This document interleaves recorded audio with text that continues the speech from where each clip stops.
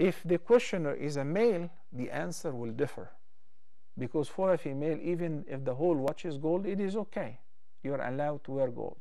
But wearing gold for men even if it is like the uh, the the uh, stainless steel band of the watch is gold plated if it is gold whether 18 karat or 24 karat then it is not permissible to wear it for men the prophet ﷺ said about gold and silk for men they are forbidden for men of my ummah and they are permitted for women. And in the other hadith when the prophet ﷺ saw one of the companions who was wearing a gold ring he himself took it off his finger and he threw it on the ground.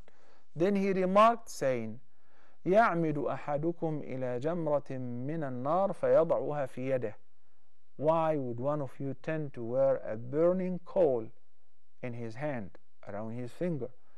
So the Prophet ﷺ, by declaring that, he declared that it's a major sin and it is not permissible for men to wear gold, whether a little amount or a big amount, a ring or a watch or glasses uh, and so on. But for women, it is uh, okay.